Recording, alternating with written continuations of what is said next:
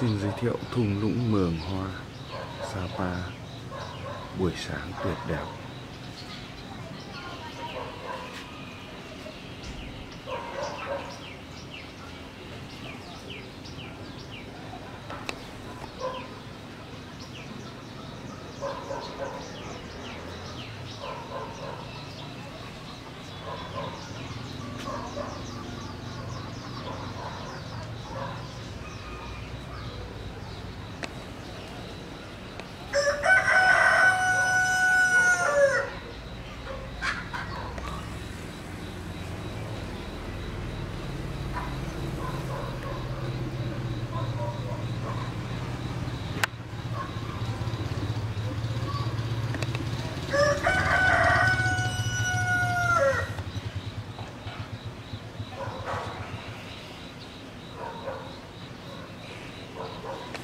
Những thửa ruộng bậc thang đã vào mùa lúa chín